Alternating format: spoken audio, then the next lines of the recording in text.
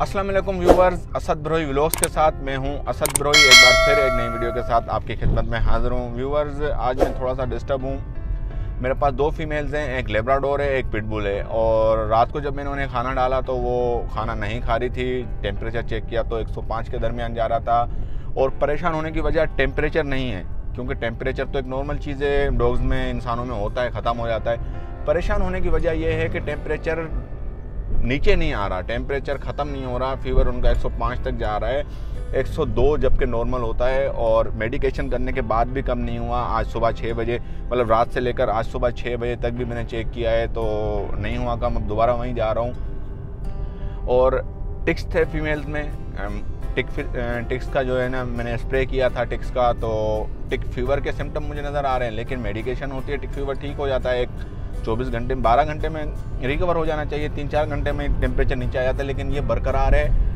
105 से थोड़ा सा भी नीचे नहीं आया। छः बजे तक नहीं आया था। छः बजे मैंने लड़के को कॉल की थी वहाँ पर कि मुझे टेम्परेचर चेक करके बताएँ तो अब मैं फिर दोबारा वहीं जा रहा हूँ और जाकर चेक करूँगा। उम्मीद है कि कम हो गया होगा, अगर नहीं हुआ तो लाजमी है कि किसी स्पेशलिस्ट को चेक कराऊँ, क्योंकि टिक फीवर जितना ट्रीटमेंट इसका आसान है अगर ना हो टाइम पर तो ये बिल्कुल जानलेवा होता है और इसमें डॉग्स की जान जा सकती है। तो अभी जाकर चेक करूँगा, दुआ करिएगा कि ठीक हो। अगर नहीं हुआ ठीक तो फिर डॉक्टर्स को चेक कराऊँगा वीडियो में बने रहिएगा। चलते हैं, चल के देखते हैं डॉग्स को।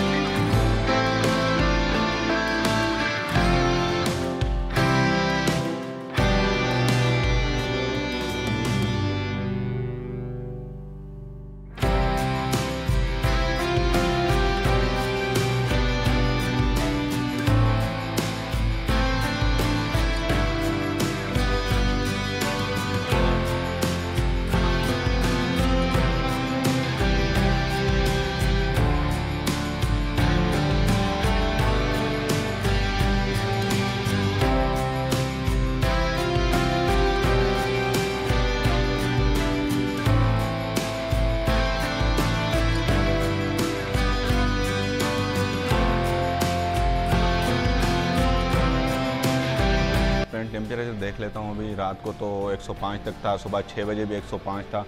अभी देख रहा हूँ कि कितना आ रहा है।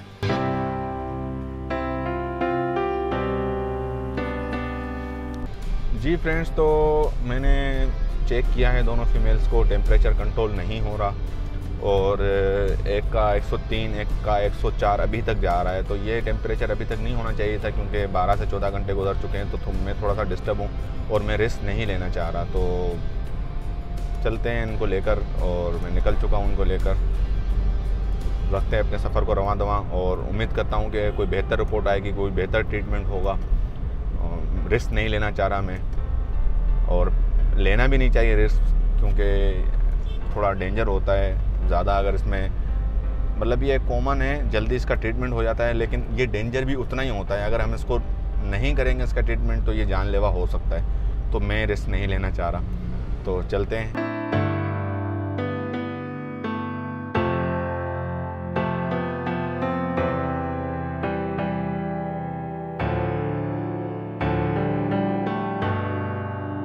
मैं सफ़र में रवाना हूँ और इन दोनों फीमेल्स को लेकर जा रहा हूँ डॉक्टर के पास क्योंकि मैं तकरीबन रात से ही डिस्टर्ब हूँ और डिस्टर्ब ये हूँ कि रात को जब मैं वहाँ पर कैनल पर गया तो डॉग्स खाना नहीं खा रहे थे। अमूमन टेम्परेचर होता है खाना ना खाने की वजह यही होती है। और टिक्स भी थे डॉग्स में, मैंने स्प्रे वगैरह किया तो मुझे शक हुआ कि टिक्स फीवर है। जब टिक्स फीवर की बात आई तो ट्रीटमेंट नॉर्मल होता है टिक्स का तो मैंने वो ट्रीटमेंट तो किया। लेकिन मुझे अंदाज़ा था कि घंटे, डेढ़ घंटे में ये थोड़ा बहुत फ़र्क पड़ेगा। इसमें मैंने रात में वेट किया दो घंटे, फ़र्क नहीं पड़ा।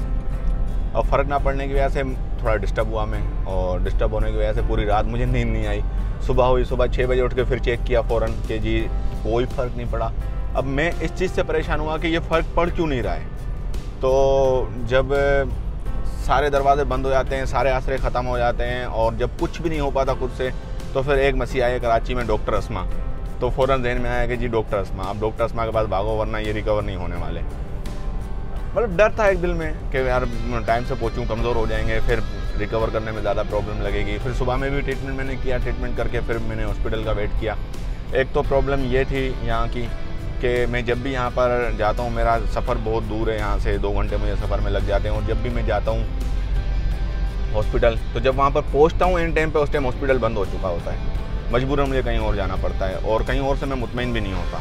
यहीं से मुतमिन होता हूँ, यही एक डॉक्टर है जिससे मैं मुतमिन होता हूँ। आपको ये, आप लोगों को भी यही राय दूँगा कि ये डॉक्टर बेस्ट है, इसी से मुतमिन मैं भी होता हूँ। आप भी चक्कर लगा के देखेगा मजीद और भी हर किसी के अपने अपने फेवरेट डॉक्टर होते हैं, मैं नहीं बोल सकता कुछ भी इसमें। ये लेब्राडोर की फ़ीमेल है और ये भी आप देख रहे हैं कि कुछ मुझे बेहतर नहीं लग रही और बहुत, ये बहुत प्लेफुल है और एक एक जगह पर इसको टिकना ही नहीं आता और अभी ये बिल्कुल इस तरह मायूस होकर बैठी हुई है। तो इसकी ये मायूसी मुझे कुछ ठीक नहीं लग रही। और साथ में ये पिटबुल की फ़ीमेल है। और पिटबुल की फ़ीमेल भी आप देखें, ये बहुत प्लेफुल है, लेकिन इस वक्त इसकी कंडीशन मुझे ठीक नहीं लग रही। तो उम्मीद है कि ये ठीक हो जाएँगे। और चलते हैं, देखते हैं और दिखाते हैं चल के डॉक्टर को। मुझे कुछ समझ में नहीं आ रहा और परेशान उनके लिए दुआओं में याद रखिएगा और दुआ कीजिएगा कि ये ठीक हो जाए, क्योंकि मेरे लिए मेरे पेट्स ही सब कुछ हैं और मैं इनसे बहुत ज़्यादा मुझे लगाव है। और ये प्रॉब्लम में होते हैं तो मुझे खुद को प्रॉब्लम लगती है कि मेरे साथ ये प्रॉब्लम है। तो चलते हैं, देखते हैं, उम्मीद करते हैं कि कोई अच्छा ही रिज़ल्ट आएगा।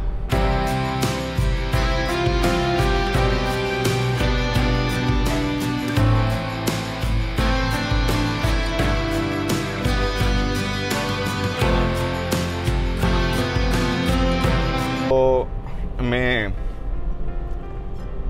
पहुँचा डॉक्टर शर्मा के पास, सारी सिचुएशन बताई कि ये ये ये कंडीशन ये कंडीशन थी।